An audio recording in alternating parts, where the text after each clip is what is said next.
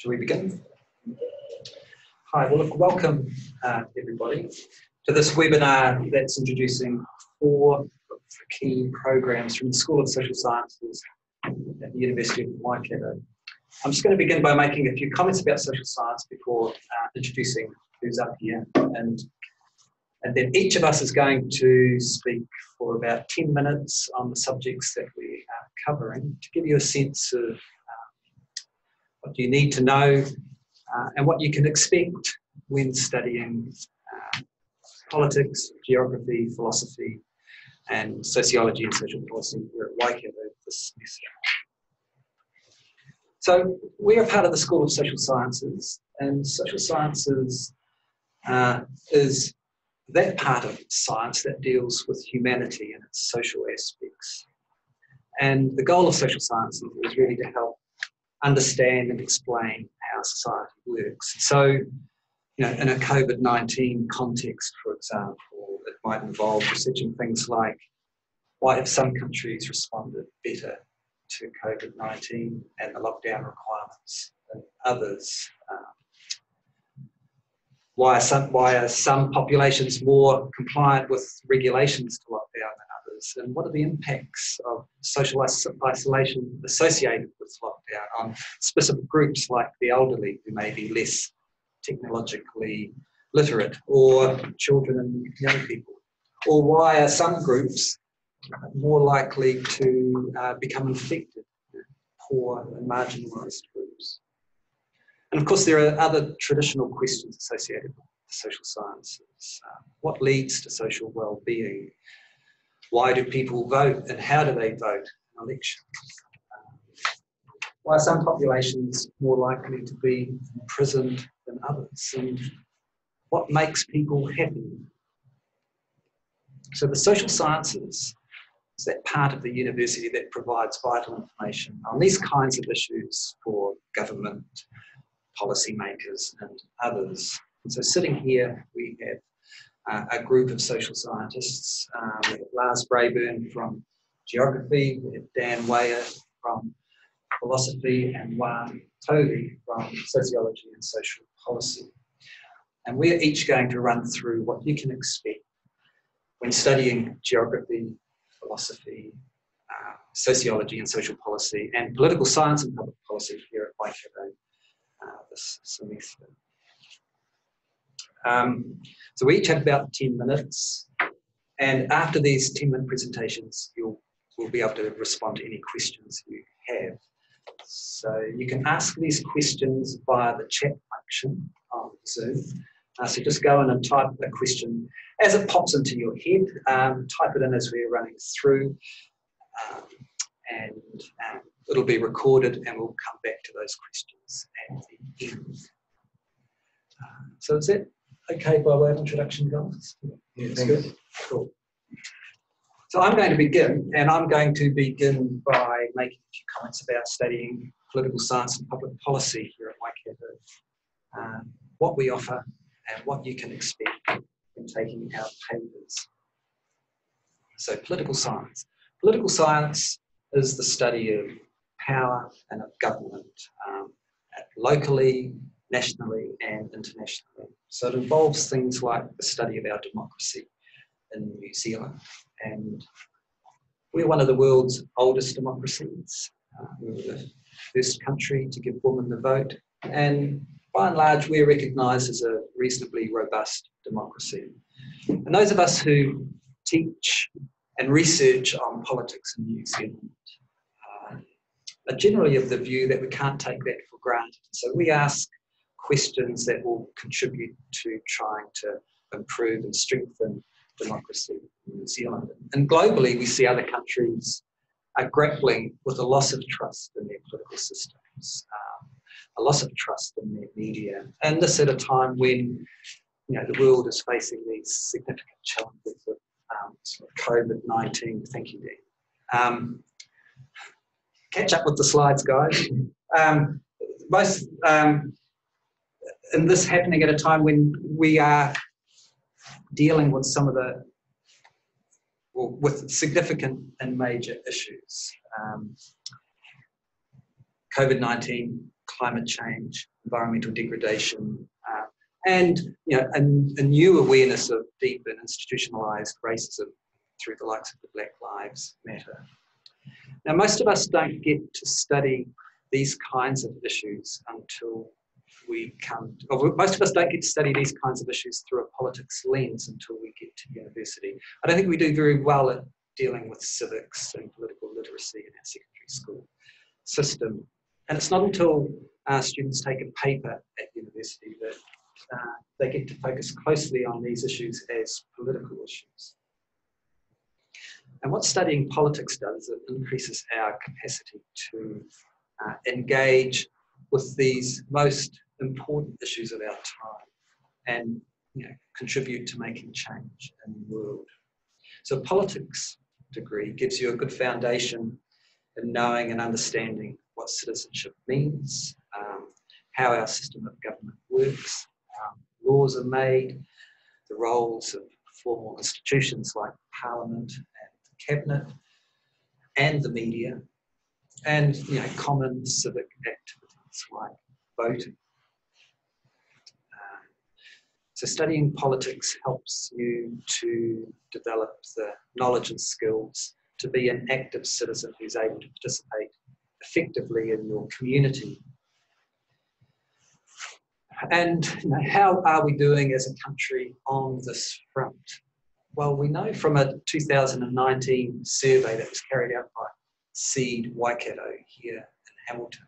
It's a group of young, active Hamilton citizens. That two out of five young Hamiltonians didn't know how to vote in the local government elections last year.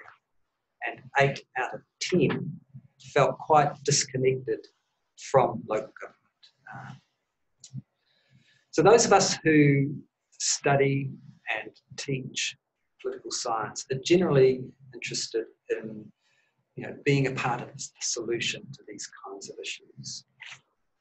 Um, and you can think of studying politics at one level as you know, providing an advanced civics education.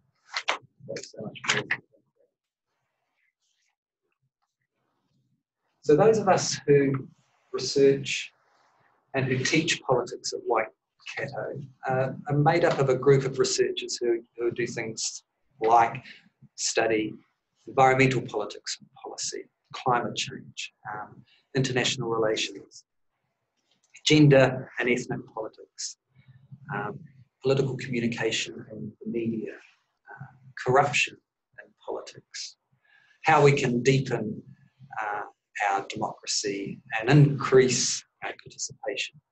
And we have the whole security studies field as well. So we look at international security issues, cyber security. And we have staff who research in um, different comparative politics, so politics of Southeast Asia or South America. And as a group of researchers, we ask questions like, why are some countries responding more effectively to COVID-19? What lessons can we uh, learn from other countries? Uh, and how, how might we more effectively respond to international crises like climate change? And why is democracy surviving in some countries but becoming weaker in others? So, our teaching on these kinds of questions is informed by up to date research on the latest scholarship and issues. So you can um, study politics as a major, as either a BA or a BSocSc. Uh, and in a politics major, you can focus on the international relations stream, which looks at um, you know, New Zealand's relationships with other countries, uh, our foreign policy, uh, our links with international organisations like the UN and NATO. So you can study that as a stream within a political science major, but you can also study that as a minor, which involves taking 60 points in specified international relations paper. And you can do the same thing with public policy. Um, so, you know, public policy, that's the study of the development and implementation of policy. It's a kind of a fine grained look at politics politics and policy making as it relates to specific issues, like, for example, um, health policy or housing policy. And the focus on public policy gives you uh, the skills and knowledge to deal with government in your future profession or to work within government or to lobby government as a part of an advocacy group. Um, in the B semester or B trimester, as we're calling it now, this year we're offering two level one papers. Uh, the first is POLS 102, New Zealand Politics and Policy. This is an introduction to um, how government works in New Zealand, uh, how decisions are made, and we cover contemporary policy uh, issues. We're also offering via NET uh, an introduction to international relations, which looks at um, case studies, theories of international relations, and contemporary developments in the study of world politics. At level two, we have four interesting papers, and there are no prerequisites for these. So we're offering a paper on terrorism in the state, uh, a paper on political systems around the world. We're offering a paper on US politics, particularly, which will be interesting given the US presidential elections coming up in November. And we all, all are also offering a paper on the politics of collective memory. I'm the convener of political science and public policy, so if you have queries about your undergraduate program, don't hesitate to get in touch. And I'll just finish with one final thought. Um, young people are playing a critical role in some of the biggest issues of our time. Think about the school strike for climate, think about the role of young people stepping forward in the Black Lives Matter movement. And studying politics is a way of becoming more effective in these kinds of activities. Uh, to know how to, to know how influence happens and how to be effective in promoting change. And we've got an election in September. It's a great time to study politics. Not really here to sell you our programs, but um, we're really here to give you information. But let me finish with the sales pitch. It's a great time to study politics, guys. um, so um, that's me on political science and public policy here at Waikato. If you have any questions, I can see heaps of questions up there. Um, we can come back to those later. But for now, Lars, I'll hand over to you. Okay, thanks, Patrick. It's also a, a great time to, to study geography. Um, just to point out at the start, I mean, this panel was made up of all uh, males, but actually in our um, school, we actually have uh, a lot of uh, female lecturers. There's actually probably more than 50% of our staff uh, are women. So, so don't don't get um, uh, a false uh, a false sense of what, what we're about based on this panel. Okay, so geography um, covers a broad range of topics, and I guess that's what we see as our strength, is, is that broadness. Th we think it's, it's really important that geographers uh, are able to communicate with a range of professionals, political scientists, uh, philosophers, sociologists, but also a lot of uh, physical geographers, hydrologists, scientists, computer scientists, and so on. Uh, because a lot of the problems facing this world are complex. If, if they were simple to, to resolve and to come up with solutions, uh, then they would have they would have been uh, fixed already. So a lot of these these problems um, get debated for, for years and uh, people are thinking of solutions uh, to them. So it's common for a geographer to be working in a regional council or local council and working with people from a range of backgrounds. And so we in geography think that it's really important that you have uh, a broad uh, understanding of a range of topics. I mean, let's face it, you know, the world is rapidly changing and uh, COVID-19 has reminded us of that. And uh, to resolve these, these problems, yeah, we do need to have, have a broad understanding but before COVID, you know, we've had you know climate change. This is this is going to be with us for a long time. Uh, we've had uh, a lot of issues with uh, water quality, and I mean these these issues are not simple to resolve. They, they involve both understanding the environment, but also understanding uh, land use, um, uh, a lot of the, the, sort of physical side of stuff in terms of hydrology and, and fertilizers. But also you need to think about people's livelihoods um, and, and, and, and jobs and, and, economics. So that's what we think is, is really important that uh, students graduate with a, broad uh, range of, of, topics that they understand and uh, geography um, tries to achieve that. So it's really important that you, you know people understand a lot of environmental issues uh, and, and, and the key concepts associated with, with the environment, but you also need to look at social social issues such as jobs, um, identity, um, and, and well-being, and so on, and also look at cultural issues um, and economic uh, issues. So it's, that, it's getting a, a, a broad perspective and being able to talk to people and be part of a team that looks at these uh, issues where we make uh, progress. And it's also really important that um, you have people that can understand both the, the, physical environment as well as, as the human environment. So geography tries to, to bridge, bridge that. And so we're one of the, the few disciplines that are actually achieving that.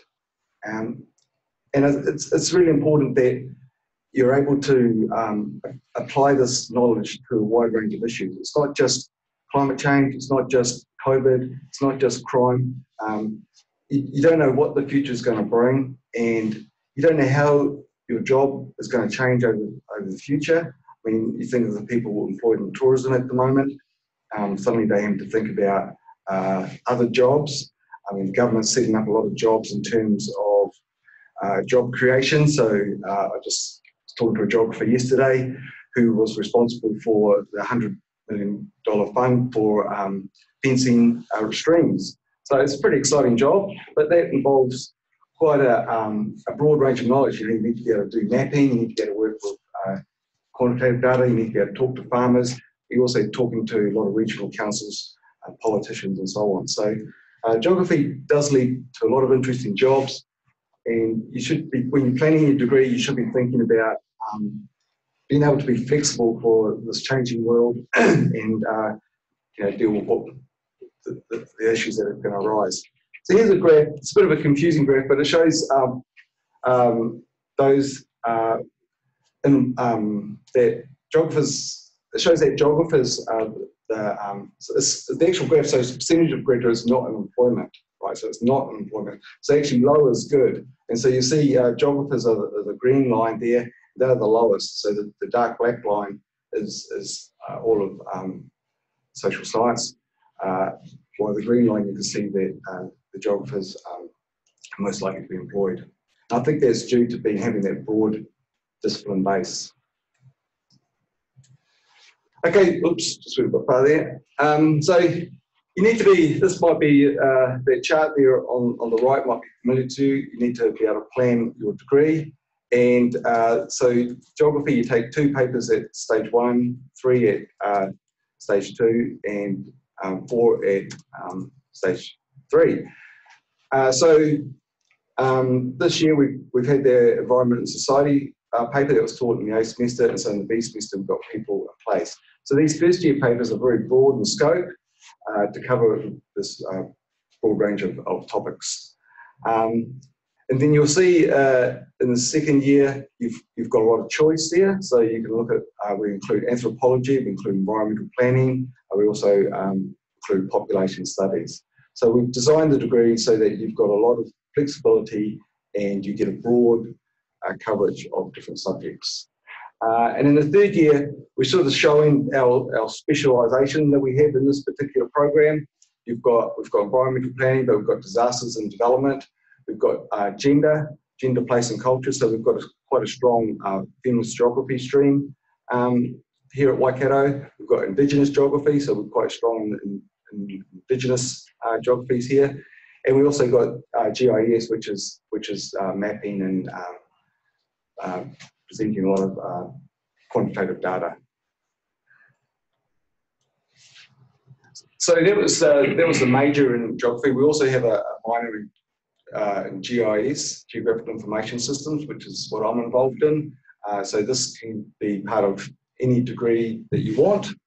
Um, so you get opportunity to be minors uh, with your degree. And you'll see that this is a, a mix of uh, statistics, uh, computer science, as well as um, cartography and uh, geographical information systems. So there are lots of jobs uh, mapping. Uh, so like you see with COVID, there was lots of maps that you would have seen. I actually got involved with the DHB during the um, health health um, emergency. Uh, they wanted uh, someone to map where all the COVID cases were and where the immunisation was. So this is GIS is quite an uh, important skill. Uh, it's used a lot by different councils. So that's me. I'll now hand you over to Dan to talk about philosophy. Thanks, Lars. Hi, everyone. So I'm Dan Weijers. I'm the convener and the undergraduate advisor for philosophy. So that means if you have any questions about studying philosophy, you should come and ask me. So what is philosophy? It's a subject you don't always come across in high school. Um, a little bit of a spoiler. Um, if you love science, philosophy is the father of science, or effectively, philosophy is the first subject, and all of the other subjects spawned out of it. Now, being first doesn't always um, mean being the best. Um, Another way of looking at it, I suppose, is it's the oldest, maybe the least relevant. So I'm here to explain a bit more about philosophy. And you might even think, what is philosophy even doing here? This is a social sciences panel. I don't see many philosophers going out and doing, doing experiments. A few of us actually do. Um, and there's another kind of experiment, and I'll give you an example of that in a moment. It's called a thought experiment. It's a very cheap uh, kind of experiment to do, so it's quite useful. Um, but like Pat said, we care about the human element and we care about um, the certain skills that are shared through the school, like critical thinking. And um, so I believe philosophy belongs to be here. And, and uh, you know, I'd like to have a job. So what is philosophy? Uh, I think philosophy is using critical thinking, reason, and logic to answer the big questions. And what are the big questions? Well, we can have a look at a few uh, in a moment. Um, spoilers for Star Wars, not necessarily one of the big questions. Who is philosophy for? Um, it's for everyone. And by everyone, I mean everyone's invited. And the greater the amount of diversity we have, and our student body is, is very diverse, then the better our classes go. The greater the range of opinions, the more we can all learn. And here's some photos of some philosophers. And when I said everyone, that wasn't quite right. I wanted to be you know, super welcoming. If you're not prepared to challenge your existing beliefs, including your fundamental, deeply held beliefs, or if you're not prepared, if you're not brave enough to challenge society or challenge others around you in a reasoned and justified way, then maybe philosophy is not for you. Philosophy is a bit dangerous. There's every year someone comes in saying, "Man, this has really changed everything for me," and sometimes that can be unsettling. Um, but hopefully, um, for most of you, it's just a kind of um, new moments, uh, new learning, and new growth. Why is a question that we love. We love a lot of questions as philosophers. Can you smell that? It's not a favorite question. So it's not just every single question, but questions like why, they demand a justification, they demand reasons and evidence. And those kinds of questions seek, seek us out. They make us want to learn more. They make us want to investigate and challenge. And that's why I like that, that question. So you might say, well, why are we even here? Um, us 19 attendees, um, you know, we could have been still sleeping in. There's lots of things we could have been doing, yet, yet here we are. Well, I, would like to think that you're here because you have an amazing range of opportunities in front of you. And I'm, I'm not just talking about these four subjects, it's the whole of the university. There's so many amazing things, interesting things, useful things you can learn. So here's a picture of a bit of a smorgasbord of sweet treats. If not a sweet tooth, um, maybe that's more up your alley. Uh, not for the vegetarians, uh, though that one. Um, but my point is, you need to investigate your options. I don't know about my fellow panelists, but I went through several different degrees, several different majors and minors while I was trying to find what was really interesting for me. And when I found it, it changed the way I studied. It was philosophy, I guess you could guess that. Just changed everything about how much I was learning and what I could do with it. So I do encourage you all to investigate your options. You have electives that you can take. You know, you might have your degree sorted out, but there are minors that you can add in different subjects. So hopefully that's part of what we're doing here. I want you to be able to decide for yourselves, as I'm sure my fellow panelists do. So we're giving you some information, occasionally plugging um, our programs a little bit. So in philosophy, what are you going to learn? You're going to learn critical and creative thinking skills. Now, critical thinking skills, so how to analyze an argument, how to understand when something someone says doesn't even involve an argument, doesn't doesn't include any reasons why you should believe them, for example. So you don't just want to trust authority. You like so. I'm a lecturer at university. You might think I'm an authority figure. I'm not really, but uh, if you think that, then you might think, oh, I should probably believe what he says because you know he's up there at university working away, probably doing research sometimes. But of course, I don't want you to think that. I want you to demand reasons and justifications of me, like you would of anyone else, except for the kind of small occasions where it's an emergency and you don't have time. And you know, then you might want to listen to an expert without hearing the reasons. So we have a few courses that focus specifically on critical thinking.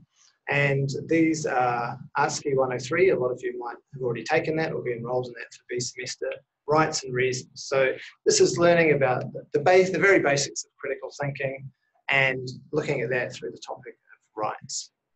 Now, there's also introduction to logic, which is very popular for mathematics and computer science students. The idea for logic is you're actually looking through the words that make up an argument, you're looking through those words to the structure, to the skeleton, if you like, um, underneath. And if you have a good understanding of the underlying structure of arguments that are effective or ineffective, logical or not, then it helps you when you go back out to the, to the big picture with all the words in to see if that argument works. And then we have another paper, Philo 103, which is critical thinking. This is available in A, B, and also, I should say G now, the net paper at the start of summer. And this is very skill-based. So, and um, lots of students find these uh, courses difficult but then very rewarding in the sense that when they turn to any of their other studies, they can see how this ability to think critically helps them um, sort out between the good and the bad arguments, what's actually an argument, what's not, um, no matter where they go. And so critical thinking, you might have heard a bit of a buzzword, lots of employers are interested in it. Now, I put it to you, would you like to have a job for an employer that wants you to have critical thinking skills and to exercise them on the job or not?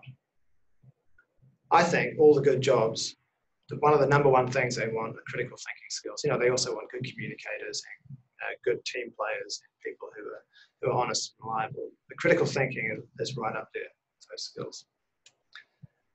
Uh, so, for example, rights and reasons might help you um, understand what Jacinda Ardern's saying when she says they are within their rights to do that. That doesn't mean that it's the right thing to do. That's the kind of thing that at first glance you might go, what? What is she saying? Uh, what, what does that mean? Uh, and it does involve rights, and it also involves the ability to work out whether or not something's an argument or not, and to analyze whether there's any reasons um, built in that to help you agree or not. In philosophy, you can also learn to challenge laws and the morals of society. And um, so, rights and reasons, you get to do a little bit of that. You're actually kind of required to do that for one of the assessments, try and write something that's challenging. And also in Philosophy 106, which is social and moral philosophy, we go through a range of topics uh, that are kind of significant to society and work out um, how can we progress in these issues. We know that people have a diverse range of views, but we also know that we need to have a way to organize this all in our diverse views to move forward and make progress with this. And how do we do that? Are there topics like um, euthanasia, discrimination, criminal justice, animal welfare, that lamb is really cute, for example, should we eat it? Um, we've also added topics recently like your online life. Are there some of the things that you do in your online life that actually you shouldn't be doing? We don't want to allow other people uh, to do. Uh, let me give you uh, an example of that in a minute. Something else you learn in philosophy, which is to challenge your own fundamental beliefs. It's one thing to challenge society, but we probably should check in with ourselves first to make sure that we have our own house in order. So in both Philosophy 106, but also Philosophy 150, which I'm teaching at B, B semester or B trimester now, um, the big questions, and introduction to philosophy. So here, every week we look at a different big question and then we try and answer those questions uh, with, with reason and, and in some subjects, the lecturers, they tell you, here's, here's the latest, here's what you've got to know. And if you can understand this, you, you'll do well. In philosophy, we say, here are some skills and some tools. Now, here are some issues that are contemporary issues. Now, let's practice straight away. You don't have to wait till third year or anything. And first year, use those tools for yourself on this topic. Debate with your, with your, your friends, your student, other students in the class. Try and work it out for yourself. The kind of questions we look at is, um, should I believe in God? Is time travel logically possible? Does my morality apply for you? Apply to you? So imagine we have different moral beliefs. We're all being very politically correct and trying not to challenge anyone else's moral beliefs until someone comes along and says, "Well, I think it's perfectly fine to burn kittens for fun," and then we think, "Oh, no, just disagree. Not sure about that," and then and what can we, how can we progress with that?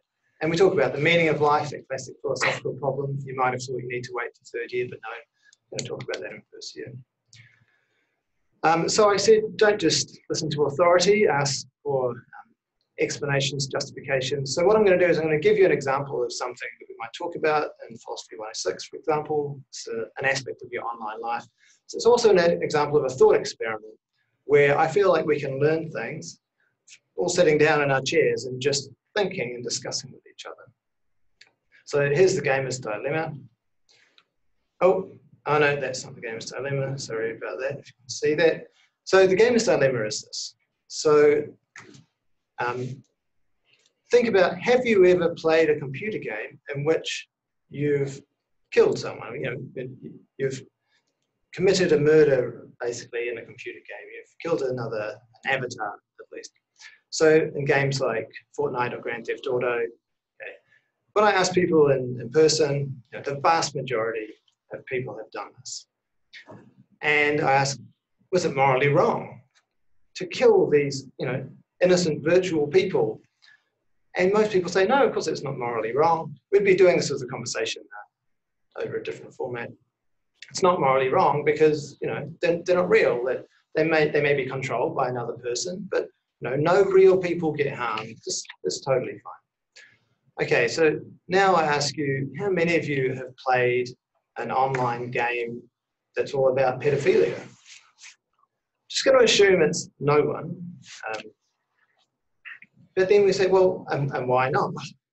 I wouldn't play that game because it's morally wrong. It's abhorrent. You know, I would never do that. Uh, and please don't make any judgments about me and what games I, I play based on this. This is very, very much hypothetical. But why is it the case that an online game in which minors are sexually assaulted, why is it the case that that's morally wrong? But then killing innocent people who presumably don't want to be killed online is morally permissible? Why is one horrible thing in the real world okay in a computer game and another thing that's horrible in the real world permissible in a computer game? Unless you can think of some important difference between the two, you're left in a very strange situation. Logic compels you to think that your judgment about one of those cases is wrong. And because a lot of you probably play these computer games where you kill people a lot, it might have a big impact on your life. And you might think, so it's an example of how philosophy can impact your life. But there's more to it than this. As we go through these um, thought experiments, we start to think about morality. We start to think about what really is acceptable in society or not and why.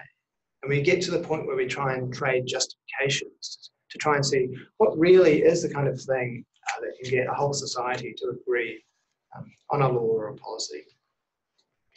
Okay, one more thing. Um, you might have, I mean, I hear this a lot, just very quickly. You know, I meet people in the community and, and we it's a very common joke when they hear I'm a philosopher and they're like, oh, okay, well, you got like the one philosophy job in New Zealand. Well done. You know, all those other poor philosophy graduates are, are going nowhere.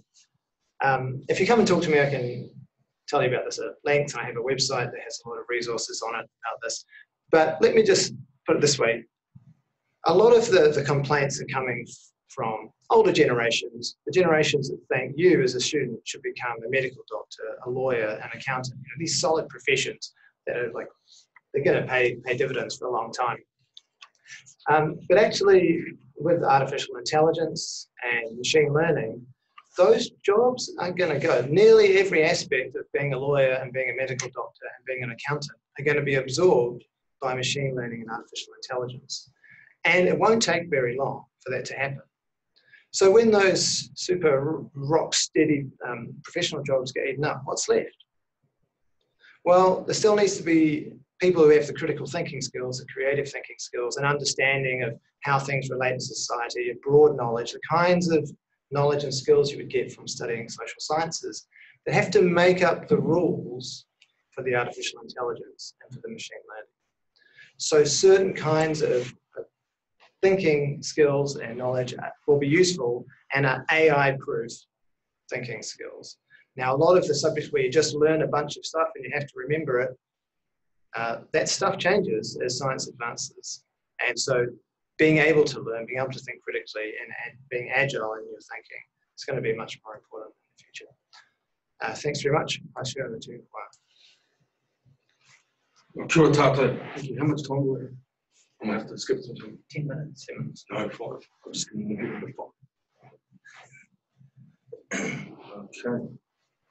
Okay, yes, I see kia ora tātou. My name is Juan Tauri. I am um, a lecturer in the Sociology and Social Policy program within the division, uh, and I actually teach criminology. That's my background. Okay, so I'll go through this. Okay. So the program, the Sociology and Social Policy program, basically offers uh, papers in three interlinked subject areas, one being sociology, including criminology, uh, social policy, and gender and sexualities. So because there's three, I'm actually going to talk specifically okay, about, I can slow down now. Okay, so I've just been given the 10 signal, which is cool. Uh, because there are three uh, distinct, if you like, subject areas. I'm actually going to focus it on sociology because that's the program I primarily teach into. And I'm going to use criminology, particularly the study of crime and deviance, as kind of an example, if you like, of the types of issues that you will be um, taught to critically analyze and think about within our program. So, very, very briefly, sociology is about understanding social issues and social interactions uh, with across um, human society, group subcultures, and everyday life. Um, I'd like to sort of support uh, what more through my colleagues, especially Dan, and one of the, the, the, focus, particularly within the criminology that I teach, is to impart to the students the ability to think critically about key social issues. Right, so it's taking a magnifying glass to look at everyday activity or human conduct, like, for example, crime and deviance. So now I'm going to talk about the one area that I, I know a little bit about. Okay, so the study of crime itself and criminology actually is a sub-discipline or developed out of the sociology of deviance. And one other thing I want to focus here uh, to try and give you an idea of what it is to uh, think critically about key social issues is the distinction between these two interrelated categories, deviance and crime. So deviance itself is generally, uh, we define it as behaving in a way that diverges from usually accepted social standards, especially in terms of social or sexual behavior. Okay? So the sociology of deviance, of which criminology is a part of, we are looking at issues uh, much wider than, for example, crime. Okay, because crime is an actual fact, an action or omission which constitutes an offence and is punishable by law. So the, the category of crime which sits within deviance are those actions or behaviours, okay, that the state has deemed to be uh, unacceptable and includes it in legislation such as, for example, New Zealand the Crimes Act. Okay, and so now for a bit of fun, I'm going to show you some slides and ask the question, that critical question: Is it crime or is it deviance? Just to give you an idea of sort of the complex issues that we deal with. So here we have a gentleman. I've, I've especially uh, made sure that he was Pākehā, and not Māori. That's an in-joke. Okay, now, unless it is possible, of course, that what this gentleman is doing is he's gone for a power walk like I did this morning, forgot his house keys. But I think we can pretty much guess the way he's dressed that he's burglarizing Patrick's house because he's seen through the window his lovely 56 inch TV, smart TV. Okay, this is a crime under the property section of the Crimes Act. Yeah. Okay. So we can accept that as, as, as a crime, although the philosopher might say, is it really? Now, this is a deviance or crime. This is a gentleman wearing socks with sandals, okay, which was the uh, dress, sorry, the clothes of choice when I was growing up in the 70s of all male teachers, including at university. Is it a crime? No. But it certainly is, would be considered a deviant act if, for example, and I'm guessing most of the people who are listening in here are probably, was it generation, what are we up to now? Z? Just about. Yeah, if one of your friends turned up for a Friday night out at a nightclub in Hamilton wearing this, they or he or she would be excluded from your group immediately. Okay, they would act deviant in a, in a way that contravenes the social mores of your particular group. It is not a crime, although it should be, but it is certainly deviant. Okay, and this is the type of critical analysis that we're hoping that you will uh, be able to, uh, or to be taught to do here. we're all of our disciplines, uh, I think, ask critical questions. Yes, political science asks, well, we, we, are, we ask the really important ones. These guys, not so much. Political science will get you to be able to answer the question, why would anyone uh, vote for that party? Uh, the geography, you'd be able to ask critical questions like when Pākehā came to New Zealand, why were they so stupid that they started to build all their houses next to floodplains on major rivers? Okay, and philosophy, the, just the why question. We in, in, in, sociology, particularly in criminology, get you to think about the really important questions like why do men wear speedos? Okay, that's my attempt at injecting humour into, proceedings. But we do actually, we do actually I actually, in Australia, doing a similar talk, I used to have a picture of then Tony Abbott, the Prime Minister in Speedos, but I was asked, and I'm not making this up by a school teacher, to take, school teacher not to have it because it was too traumatic for the students. But actually, putting humour aside, we do actually ask, I think, some really significant questions. We all do. Within criminology and the sociology of deviance, we ask why it is that the vast majority of, of significant or serious gendered violence is, is done by men against women and against women that they know. Okay, why are the vast majority of those who end up in prison come from a particular group?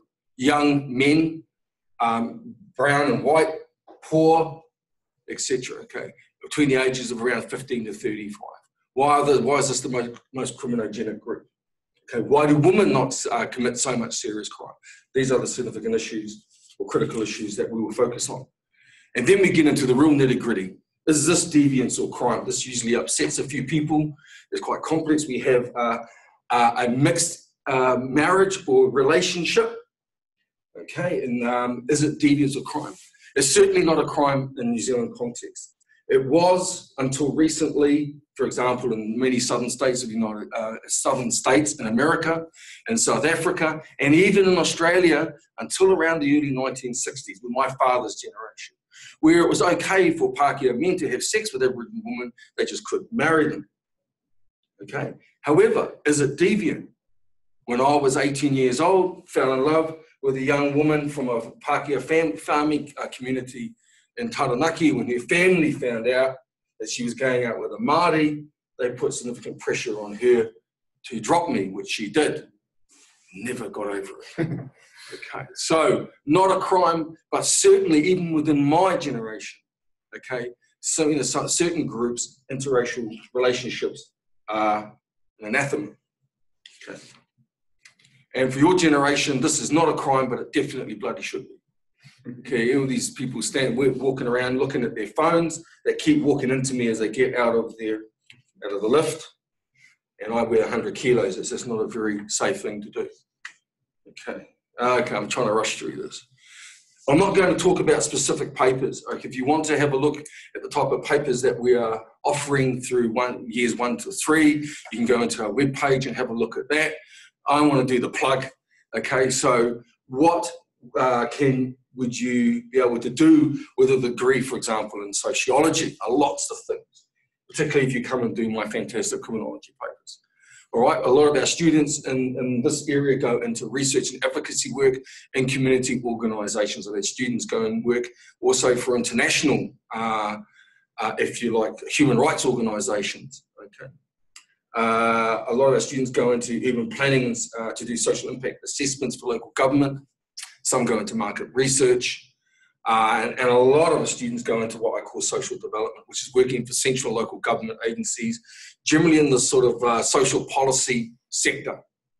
Okay, and of course, those who do criminology, uh, if you're this way inclined, can go into probation or, or corrections, police, social activist organisations, such, for example, as Amnesty International. Social policy, social policy draws on a range of disciplines such as political science and has a very significant relationship with uh, political science and sociology to help us understand the following. How different parts of our society, including government, provide resources and services that supposedly or should enhance the well-being of individuals and groups in, in our community. And also why systems work the, the way that they do. And I mean governmental systems, health, education, employment, welfare and retirement. And I think that it also, again, want to underline, I think, the core theme that's gone through our presentations of critical thinking. We get you to critically analyze these systems. All right? Analyze, question everything, question the statements, okay, the claims that are made by policymakers, by politicians, by ministers of government about whether or not the policy, the way they're spending our money, is in actual fact the best way of assisting the social development or, or providing social support, particularly to the most needy in our communities. Okay. And social policy career path is pretty much similar to the sociology one, as you can see there. I'm going to through that.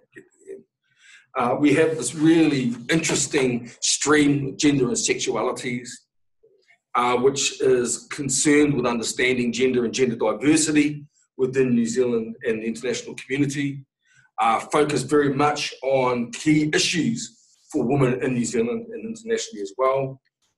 And it does so by exploring issues like around gender roles and media representation of gender, uh, key issues around, like, for example, paid and unpaid work. Uh, one of the key core issues that's been uh, one of my colleagues is studying at the moment is this thing called the glass ceiling, Okay, why it is that in the boardrooms around New Zealand within the private sector, there's only about, I think, 50 to 20% women, and you make up 51% of the population. So these are some type of critical issues that we address. And again, careers are often in policy analysis, women's rights research and advocacy, etc., uh, etc. Et That's it from me. Thank you very much for listening. Thank you to my colleagues. Thanks, Ron. Uh, there, there's a question that's come through. If you have another question, please um, type it in now. So the question is um, about what we're doing with our future courses and online courses. So all, all of the courses in B trimester at the University of Waikato are going to have options for doing them online, including asynchronous options, meaning if you're not there at exactly the right time, you still get to watch at least what's gone on. Um, there will also be opportunities for interaction, um, but some of those opportunities for interaction, a lot of those are going to depend on being available at exactly the right time. There's a range of different ways we're doing it, um, but for net papers, um, there's, there's going to be a range, and for HAM papers, there's going to be a range as well. So if you're in another country, it shouldn't matter too much. There may be some, certain elements that uh, you can't engage with live, but there'll be a big range of elements, so you should still get a quality education. That's the plan for doing. Um, so, any other questions? Perhaps while you're while you're, while you're banging it out, just fire a quick question to Pat. Um, so, lots of people, uh, young people that I've met, seem to say, "Why should I care about politics? Because they're all corrupt and just out to serve themselves. There's no one worth voting for. No one represents me. So why bother? That's one view of politics, and there has been this um, well-known blogger in New Zealand. He's a somewhat diminished force at the moment, Cameron Slater. Uh, he had he ran the whale oil blog, but it has been shut down a year or so ago. But he used to say, "I play politics like Fijians play rugby. I'll smash your face into the ground," which which is a view of politics as a as a combative, um, dog eat dog, dark art that um,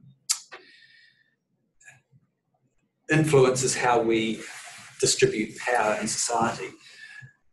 I think my view of politics is um, much more as a creative endeavour where we, as uh, interested and active citizens, seek to work together in creative ways to solve the critical problems that we face, like climate change, like environmental degradation, like poverty. Now, these are wicked problems that are multi causal, that need the input from all of us. And I think the study of politics, uh, I, well, I think viewing politics in that different way uh, provides much more uh, promise for dealing with some of these critical issues. So that, that's a genuine answer to, to, to I think is a um, what I think is quite a legitimate view that why someone wants to study politics? It's this dark art, and yet you know, it's often not until people do take a course that they see the potential. Thanks, Pat. Well, our time's up, so thanks very much, everyone, for tuning in. And if you do have more questions, you can just follow us up and look us up online or come into the campus and see us. Um, and hopefully, we will see you around in B trimester. So, thanks a lot. Cheers, guys. See you guys.